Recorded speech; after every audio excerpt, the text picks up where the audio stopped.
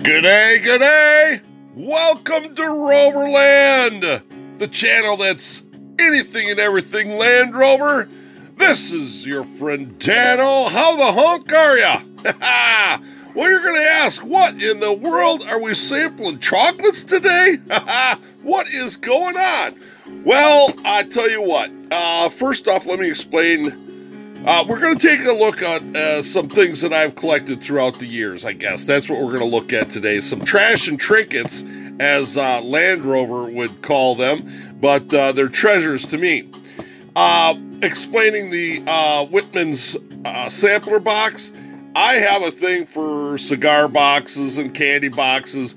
I mean, you can go to any dime store or whatever and get a plastic box and put your stuff in but that doesn't have character. That doesn't have meaning. That doesn't have, you know, any, you know, I don't know, character. This has got some character. Kind of corny, kind of sweet, but it's got character. So, anyway, that explains this. A lot of my stuff I store in uh, uh, cigarette boxes, cigar boxes, and stuff like that. It's just, I, I find it fascinating. They're very beautiful, uh, a lot of times wooden and stuff like that. So, that explains that. All right, so let's take a look here.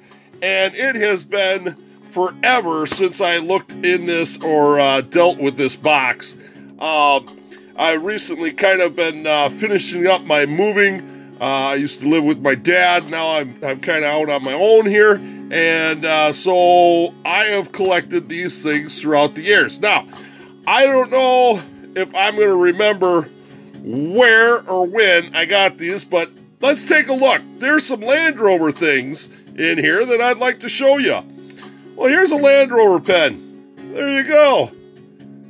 How unique is that? You got one of them? Yeah, that's pretty neat. I think I got two. I think I might have got this from the dealership. I'm not sure. But uh, yep, there's there's two of them there. Kind of interesting. Not, I mean, they're not I mean, they are Land Rover pens. They're not like official uh, Land Rover, you know, gear, I wouldn't say, but I probably got it from a dealership. Here's another one. Oh, this is from uh, Bergstrom's uh, Premium Auto Motor Cars. Uh, they're a Land Rover dealership. I think they're based out of Madison and uh, Milwaukee or Chicago. But uh, yeah, I got a pen from there a lot of this stuff I get from the dealerships, you know, and stuff like that back when they used to have a lot of stuff. Um, rally plaques. Oh, this might uh, be back from the day when I used to, uh, yeah, there you go. Pipeline. Nicolet National uh, Forest, 2002. That's back when I used to have a truck. Uh, at that time, I was driving my Series 3 uh, and uh, Chicagoland Club would go up there in the November, and we'd go uh, on the pipeline, just a string of us tr- trucks there. So that's that's kind of cool. Uh, really cool group. I'm sure that they're still still hanging around. Here's another one. April. They must have done it two times a year, in the spring and in the fall. So you get a little placards. I do have uh, uh, another placard on that. Let me show you that real quick. Yeah, I found this. Uh, yeah, there's uh, another one uh, that I had. Now I put this on. Uh, it's on a piece of glass, and I just painted. I worked at a glass factory, so uh, tempered glass was kind of. So I just painted this, and uh, I put uh, some of the placards at the Lake Geneva. They did uh, back when the race uh, race uh, uh, track was open there. Yeah. Doc Lynn's Ranch in Illinois, 2000. So back when I used to off-road in the 2000 with my uh, series truck. So that was some more placards. I guess I got to redo that if I want to place them. Oh, and then the platoon run was uh, a car show, um, motorcycle show in Tomah. That's where I used to live, Tomah, Wisconsin. August. I was kind of peeved about that. Um, you know, uh, uh, platoon run. It's held at the VA for the veterans and and uh, really a really cool show. And I brought my uh, uh, ex MOD military Land Rover. That's what I had, Series Three ex MOD. That's the Ministry of Defense. uh, all stock. It was uh, still camouflage color and everything. Anyway, what kind of perturbed me is I didn't win the prize. I mean, I had the most authentic Land Rover uh, uh, military vehicle there, and some, excuse me, Yahoo won for his uh, replica staff car. Yeah, they painted it drab green and put some colored, uh, painted some numbers on it. I'm like, really? I've got the original thing here, and you, oh, never mind. So anyway, uh, okay, so I got a pin here, lapel pin, Land Rover. Pretty cool, pretty cool. Uh, here's a, a really cool thing. Uh, I'd like to, you know, somehow eventually display these camel trophy lapel pin. Yeah, pretty cool. Oh, here's you go.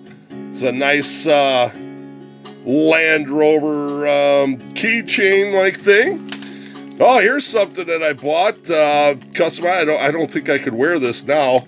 Kind of grew up since I had this. I think it's been been almost 20 years. But anyway, this I think this is supposed to be stainless steel, and uh, it has engraved in it Land Rover, a ring. Yeah, it barely fits on my pinky finger. I don't know how I was. Maybe that's why I didn't wear it because it didn't fit. All right. Oh, here you go. I uh, bought something uh, Land Rover gear, and uh, oh, here it is. I don't know what that is, but it was nineteen dollars. So I saved the tag. You know how I am about uh, stuff, and I put a lapel a lapel pin just in the hole there just to keep this from getting lost. But uh, there you go. There you go. So, do you folks have anything uh, Land Rover that you keep? This is kind of uh, stuff from the past. Uh, this has got embossed on there Land Rover. It's uh, glasses lanyard. You stick your these over the ends of your glasses. Uh, pretty neat. Uh, just keep that. Oh, another placard. Yeah, I don't know who those guys are. Oh yeah, oh yeah, Owl, Wise Owl Parts. Yeah, that's another company that deals with uh, stuff. Some of this stuff may not be Land Rover per se related. There's another pen.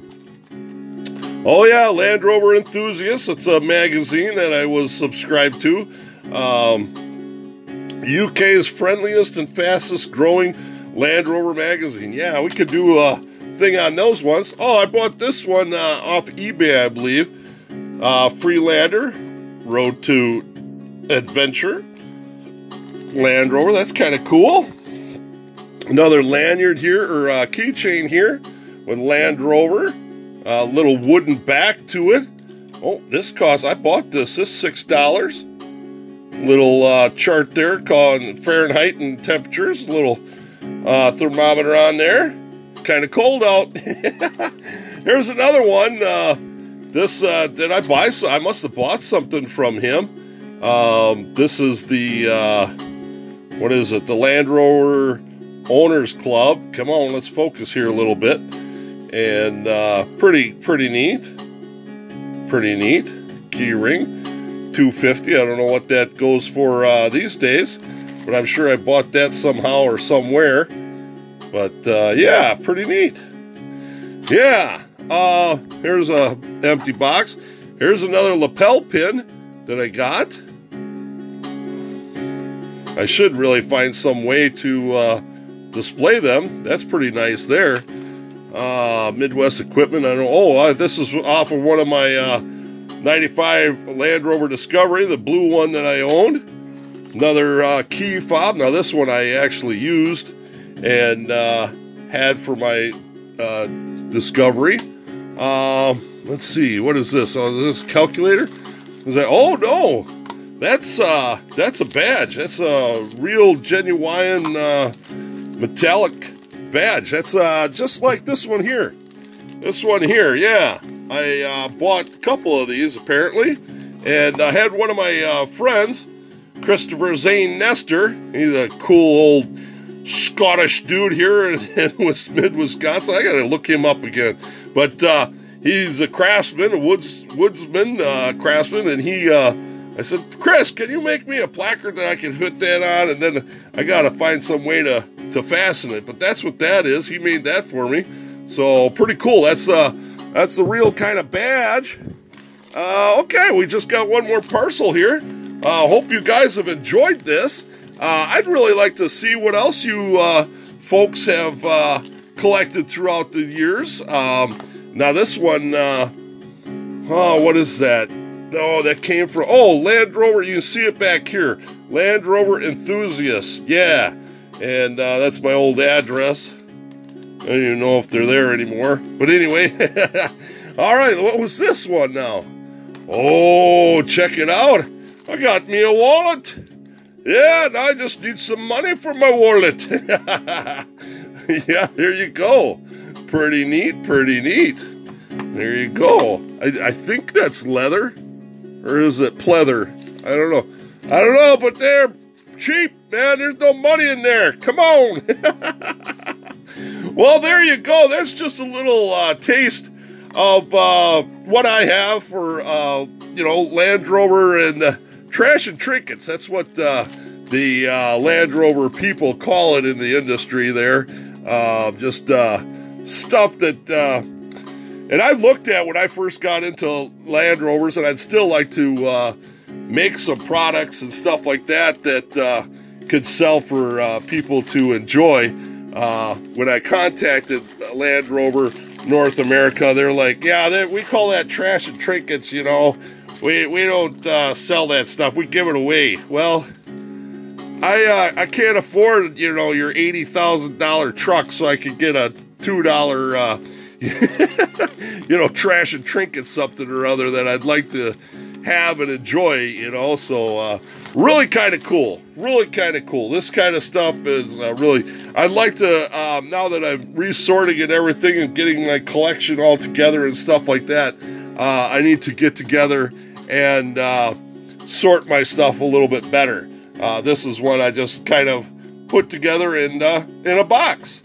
So there you go. What do you got that's Land Rover that you enjoy, that you would like to uh, uh, show off? And maybe we could focus in on this little bugger. I, there you go, Camel Trophy. I was re- I'm really a big Camel Trophy fan. I know a lot of their products and and uh, stuff like that are pretty spendy, especially here for us in the states. But I, I love Camel Trophy. I got a cam. I got a can of paint of Camel Trophy color, sand glow yellow. Yeah, yeah, sand glow. anyway, there you go. Please comment down below. Let me know what you have as far as uh, memorabilia, as we may call it. This is not going to focus either. Yeah, I tell you what's going on with that. This will focus. Let's focus on this as we get out of here, all right? All right, thank you very much for joining me, my friends. Remember, you got to keep that slow traffic to the left no, no, keep the slow traffic to the right. Talking about keeping it to the left, why I say that is one of my uh, subscribers said that where he's from, Australia, I believe it was. He, yeah, the traffic keeps to the left because they're on the wrong side of the road or on the correct side of the road. But anyway, there we go, my friends. Slow traffic, keep right, and have a great rover day.